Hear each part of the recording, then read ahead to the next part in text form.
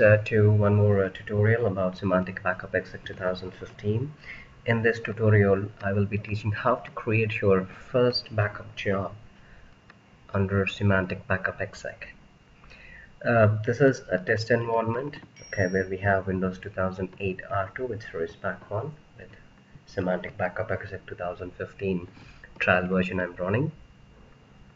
So to create a, a uh, backup okay? I'll click on uh, backup and storage tab here okay? And below we have so many tabs here okay? Sub options. So I'm creating backup here. Just click on backup.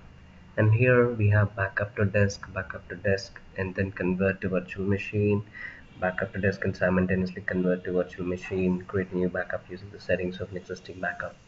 The option is grayed out because we don't have any uh, uh, backup configured currently. This is a new test environment. So I click on backup to disk. So we should see a new pop-up window. Uh, yeah it's still coming up. Okay so this is a new pop-up window okay where uh, first I'll be uh, by default it will be showing uh, with the server name okay so with followed by backup uh, 00001 so I will remove all that and I'll just uh, name it as a test backup or uh, my first backup job. Okay and I'll copy the same thing under description. Okay now what you want to backup so if the C drive system state and the reason why it's showing uh, Microsoft SQL Server instance because this is uh, a Symantec backup exec server and we already seen uh, under the services tutorial. We have a SQL instance installed on this server by default. So I don't want to backup complete C drive okay? Uh, probably uh, I want to just uh, just backup a, a folder under C drive so I'll just uncheck. I'll just uncheck and uh, expand the local C drive. Yeah this is the first time so it will take uh, yeah. I don't want all these things okay? I just want to back up uh, probably uh, yeah my test folder. That's it. As of now currently there is nothing. Click on OK and uh, it's showing as you're not selected. So I can also but whenever you're configuring also test your credentials once okay to ensure that uh, you're not facing any uh, uh authentication issues when the backup runs. So yeah it says uh, test all. So let's say it's using a system login account is nothing but the local uh, local admin account depending upon the number of uh, I mean resources uh, the test will take uh, maybe a minute maybe more than that sometimes. So you can see currently uh, the server level authentication is successful. The local C drive level is uh, successful. So that is what we're looking here. So click on OK. So I'm good to go now. So now we configured uh, the source part that the backup content. Now the next one is where you want to back up all this content that is the destination. So the destination here the options what we have is the uh, disk uh, the local storage which is like backup disk or a, a, a, disk storage or a tape drive or a tape library or uh, to any UNC uh, uh, path.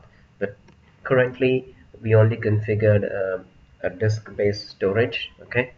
So um, and now here it also asking for uh, what exactly what kind of backup you want? Is a full backup an incremental? How exactly? So uh, this is very convenient way where you can configure you know okay I want uh, every week on Friday full and from um, uh, the remaining is an incremental okay? And uh, uh, the default time is 11 p.m. yeah so if if I want I'll just click on edit and I'll modify it. I don't want to run okay. Uh, I don't want to run uh, I mean I just want to actually I don't want to run. So what should I do? I mean um so it's Friday okay. And all right let's see. So um, this is how it is. Okay. So here um, there is a, a, you see there is a storage option. By default it selected any storage option which I don't want okay? So click on uh, edit backups. Okay click on uh, edit the template here. So I don't want uh, click on see here click on it I see there are a lot of options here okay? So we need to concentrate more here. So the schedule part it's running every Friday full and incremental every day. If I click on storage here okay? So I don't want to use any storage here okay? I want to use my storage that I already created. Remember it's a disk storage 001 okay? And uh, yes so this is the one. And uh, and here you can mention the, the retention keep for two weeks so I just want to make it as one day because this is a test environment and I want to keep my storage space free every time. I'm not using any encryption or compression here so that should be fine. And the network any available network so notification. I can configure notification uh, my like my email address or a customer email address. When the backup completes it will just send an email notification to that particular user saying that hey the backup is, is successful. And uh, the test run is nothing but see uh, I can run a test run before actually the actual backup job triggers just to check whether my source resources are um, available or not or my storage uh, resources are available or not my network is is available or not. So these it will check uh, these these parameters. Okay and the verify at the end of the job yeah I need to ensure that uh, yeah the all my uh, backed up contents are healthy or not. So it is always recommended to schedule a verified job to ensure that we have a, a healthy resources backed up. So these are all the uh, basic things that you have to uh, uh, concentrate. And if you want any exclusions like ctemp or your uh, antivirus something you can exclude here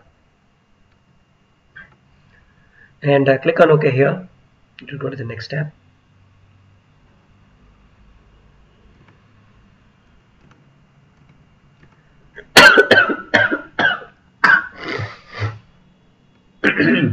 okay.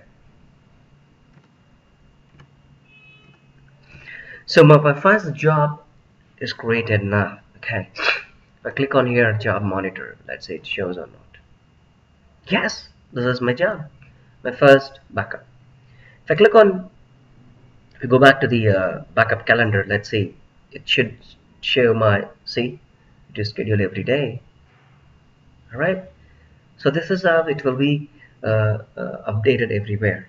I go back here backup and restore. Uh, see it's showing uh, a nice calendar Monday to Friday. Okay currently we don't have anything okay? Now quickly I'll go back here what I'll do is I'll add a couple of uh, files under my test folder. Okay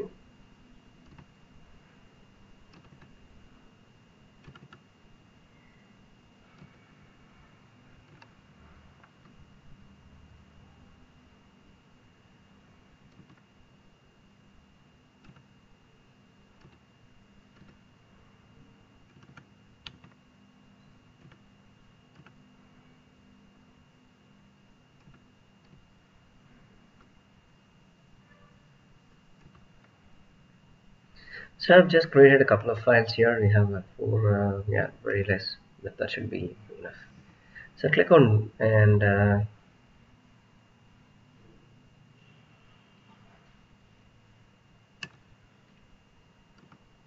so I'm running a backup here.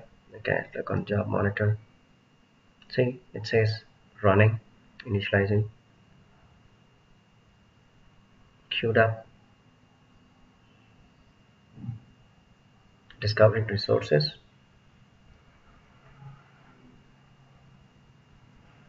It's a very small job so yeah it will it should get uh, completed within no time. It's processing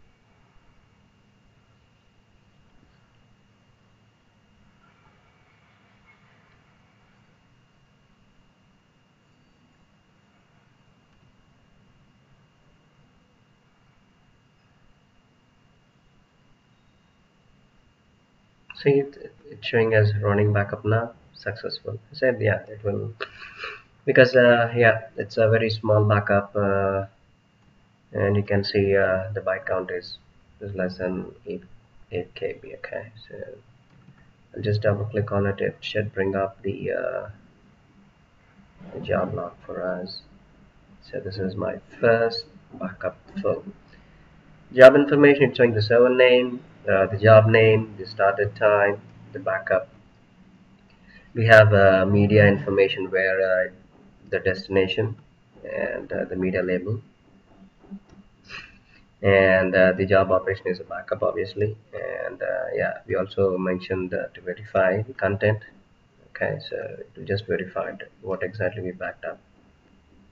All right, so what else we want to know? What exactly it did backed up? So let's see it should give us the backup set summary here okay so there are just two files and two directories okay so this is where you need to find whether actual content is backed up or not under the job so this is how you will verify the job log okay and there are different uh, like job information device and media information job operation job operation verified job completion status job history so this is how it looks like.